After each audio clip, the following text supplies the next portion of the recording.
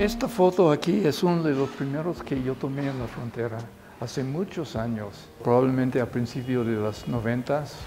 Ese es el muro como existía en el camino hacia el aeropuerto en Tijuana. Eso fue uno de los primeros muros. Este muro ya no existe, ahora tenemos el muro más moderno con las palas de acero y todo. Para mí la foto es interesante porque primero hay una leyenda aquí en México, pero muchas culturas tienen más o menos la misma leyenda, es que cuando uno muere y uno va al infierno, tiene que ser acompañado por un perro. El perro es la guía, ¿no?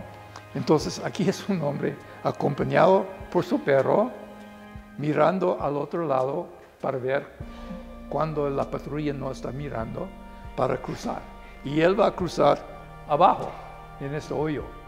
Entonces la pregunta es si él está mirando al infierno, al paraíso o a qué.